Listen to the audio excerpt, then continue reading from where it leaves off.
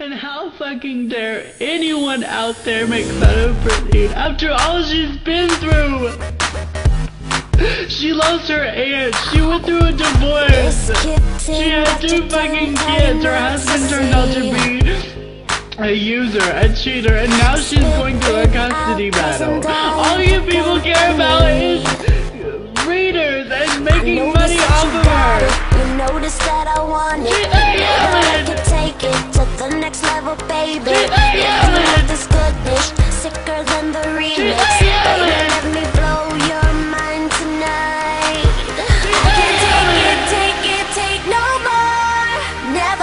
felt like, felt like this before. Come on, get me, get me on the floor. DJ, what you, what you waiting for? Leave her alone. You're lucky she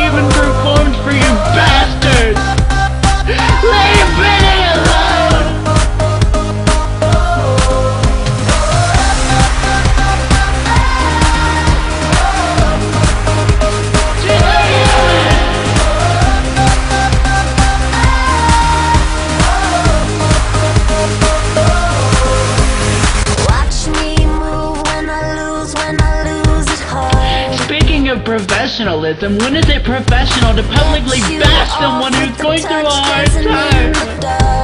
Leave Britney alone! Notice what I'm Please. I'm noticing you're staring. You know that I can take it to the next level, baby.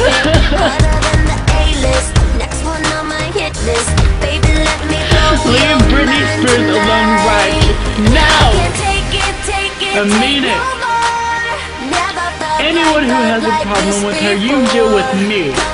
Because she's not well right now.